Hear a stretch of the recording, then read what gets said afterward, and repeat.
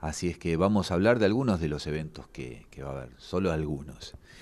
Vamos a comenzar con la actividad de este próximo viernes 25, que a las 19 y 30 va a estar eh, cerrando su ciclo de, charlas el profesor Luis Calarota, que va a estar hablando sobre eh, el arte del siglo XX.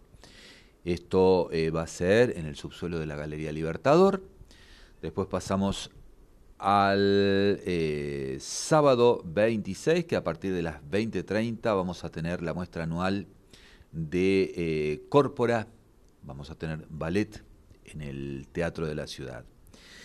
Y el domingo vamos a tener actividad. Para aquellos que estén eh, paseando al aire libre, vamos a tener la última presentación de gira maravillosa, Títeres Viajeros, con el grupo La Bolilla, que van a estar presentando la obra Viejas Valijas Viajeras.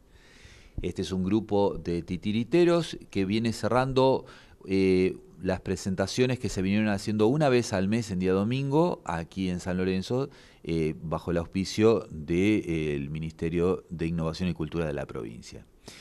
Y para cerrar vamos a estar presentando la muestra de eh, violines subterráneos. Esto va a ser en el subsuelo del Centro Cultural y Educativo Municipal este domingo 27 a partir de las 19 con la eh, actuación de la Orquesta Académica Municipal, la Escuela Orquesta de San Lorenzo, los alumnos del trayecto artístico del Centro Cultural y la exposición de pintura de la eh, artista plástica Liliana Alcine con los poemas de Lucas van Domeslar que va a estar presentando este, su actividad eh, entonces poético eh, artística junto al concierto que van a estar dando nuestros violines en el subsuelo del Centro Cultural.